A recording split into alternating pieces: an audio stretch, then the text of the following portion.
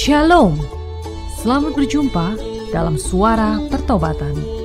Firman Tuhan hari ini disampaikan oleh Bapak Pendeta Remedi Perangin Angin MDiv.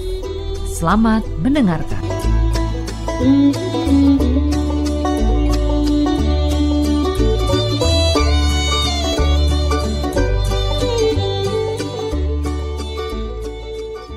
Terima kasih Tuhan Yesus, Engkau sudah mengumpulkan kami kembali dalam persekutuan lewat udara.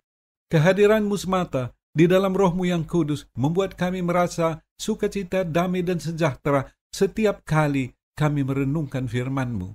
Firmanmu menyingkapkan rahasia tentang kehidupan, menguatkan kami di kala lemah, menghibur kami di kala duka, memberikan terang di kegelapan perjalanan hidup kami.